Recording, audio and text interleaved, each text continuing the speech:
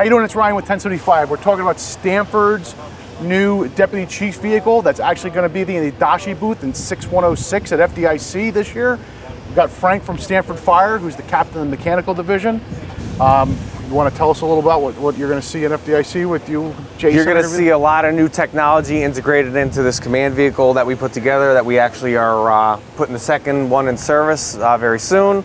And that's going to basically bring a lot of our staffing software along with our air pack management software along with some uh, radio integration as well all through the Adashi command and control program um, which is basically what the incident command module is based around Right. in this and you'll be able to see all that come together in the, in the booth.